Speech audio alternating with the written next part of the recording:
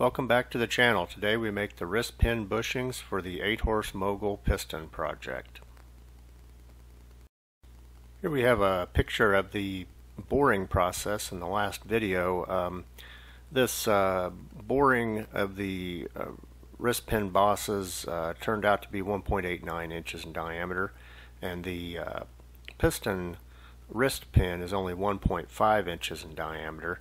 So it's because there's a bronze bushing that goes in each side of the piston, and that is the wear point for the uh, wrist pin motion relative to the piston. And that's what we're going to be making in this video. Here's a picture of one of the bushings after I made it. Um, it's inserted from the inside of the piston, one on each side, and the wrist pin runs in the ID of that uh, bushing. Uh, bronze is the material of choice here because it's very hard, uh, resistant to wear and compression. Uh, this is going to get a lot of force on it. And uh, it also carries oil very well, which is something that uh, um, brass just does not do. Here's the setup in the lathe, the four jaw chuck and uh, the bearing bronze blank that I bought.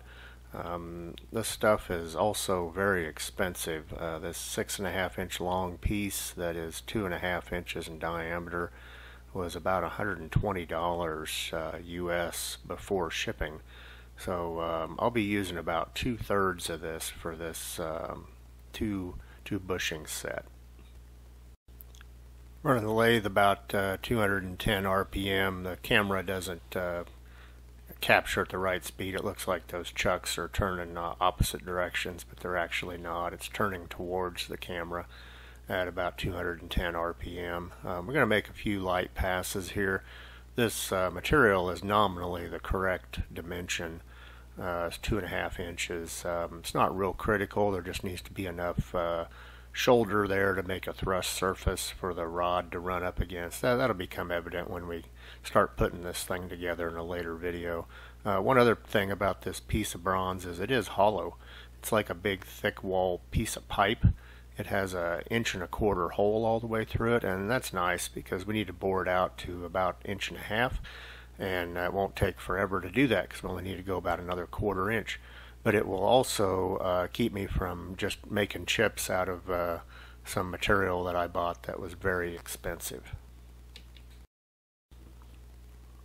One thing about this material is it uh, machine's pretty easy, even though it is pretty hard, but uh, it just makes chips that fly everywhere. Uh, it makes these really sharp chips that are about twice as big as coarse ground table pepper, and it just uh, flies everywhere. You can see on the front of the lathe there, it's all over the compound and the, the apron there and down the ways, and it's all over the floor too it just goes everywhere. It's just kind of a obnoxious stuff to machine. Uh, gets all over you, and the, those little chips are very sharp. So um, we'll make a few passes here, and then we'll switch over to the boring bar.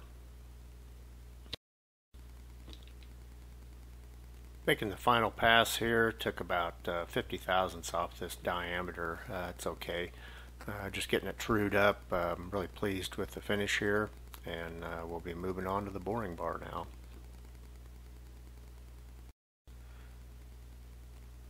Here we are getting started with the boring process, uh, the inside uh, diameter of this bushing set. Each bushing is going to be about 2.3 inches in length. That's plenty long. It's actually about 200 thousandths of an inch too long but it gives me some room to uh, trim off and machine down to make a really good fit inside this piston because I'm not sure how much um, material I'm going to have to take off the inside of the piston to true up the uh, inside of those bosses. So I'm just making these parts big and uh, so we'll be using about 4.6 inches of this uh, six and a half material that I bought. Here we are at the end of the boring process. Um, just um, running this boring bar pretty light, uh, about 25 thousandths passes. Uh, so we're out to final dimension here. We're actually turning it uh, 10 thousandths under the uh, inch and a half nominal dimension because I'm going to be using a hand reamer once these uh, bushings are uh, installed and that'll do my final alignment through the piston for the uh, wrist pin so that it is definitely uh, true and uh, perpendicular to the uh, bore and the uh, rod. Here's one completed bushing. I parted it off and trued it up a little bit off camera. Uh, that bottom surface, that step there is going to be the thrust washer kind of surface where the rod runs against um, this bushing because this is actually going to be inserted from the inside of the piston. And um, that that'll be just a surface there for uh, locating it in the, uh, the, piston. So I'll do another one uh, off camera and then we'll be over on the mill.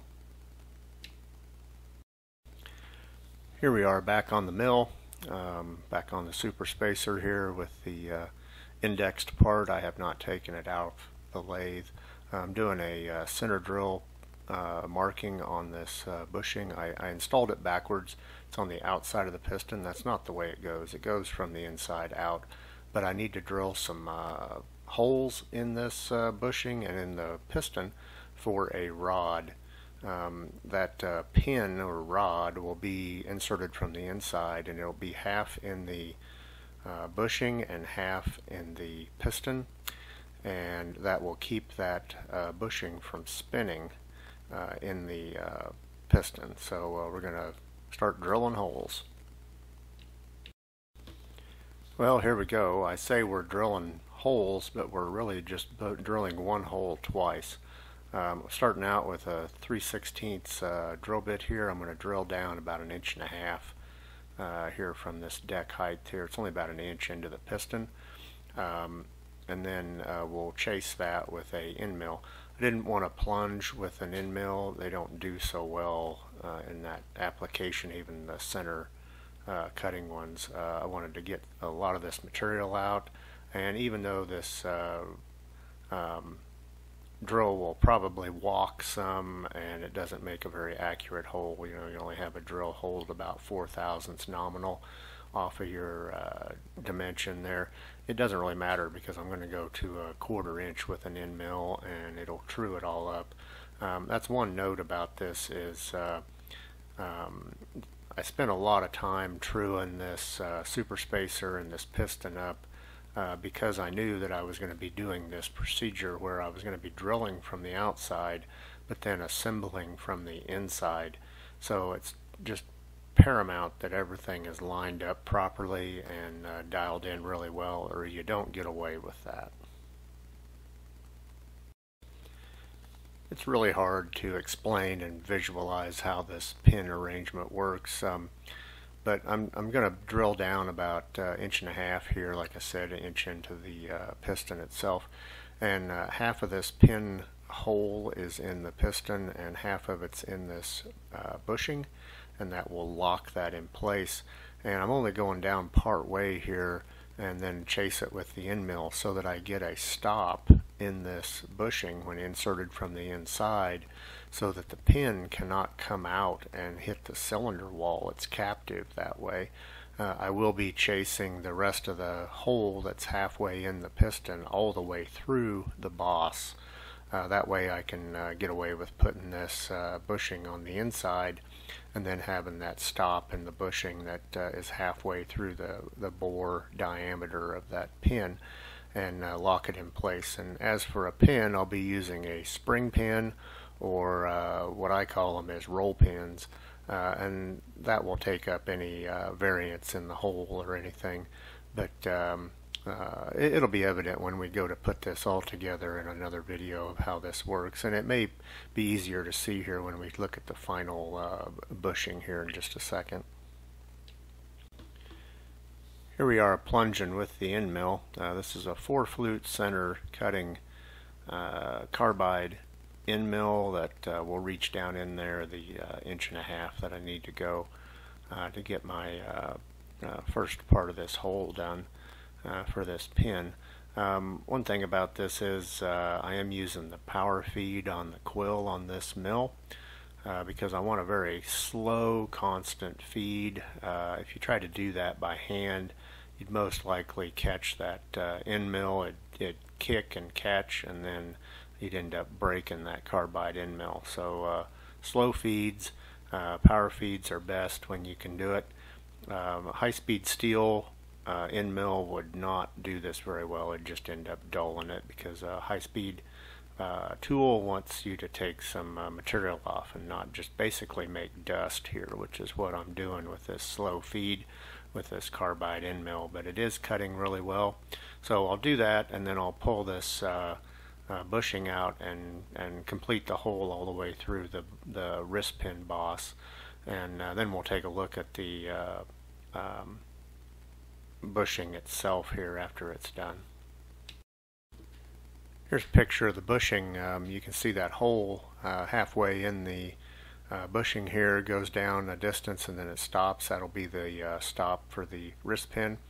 Um, then I went ahead off camera and uh, used the end mill and went on down through the rest of the boss on the inside of the piston. So this can be inserted on the inside and then that stop there uh, on this part will keep the roll pin from uh, coming out and scratching the cylinder. Here's an in view of the uh, bushing. You can see that hole is a complete hole here because that uh, flange end is larger in diameter. So um, that's where the wrist pin will actually go in when it's uh, inside the piston there. And um, this, this will become evident when we get it uh, put together. Well, one thing about this project is uh, you got to be looking ahead to the next uh, procedure and what you can do now to prep for it.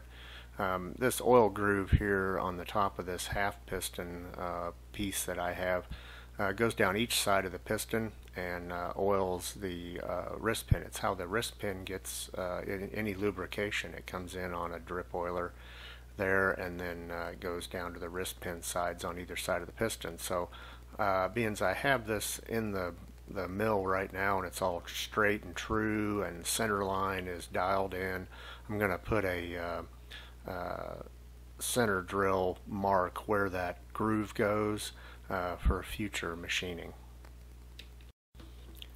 So I indexed the super spacer 90 degrees. I'm uh, exactly perpendicular to the wrist pin uh, bosses there and um, absolutely in the center of the wrist pin which is where I want to be so I'm just going to put a uh, little divot there with the center drill and that will be my locating point for uh, future machining of that uh, oil groove.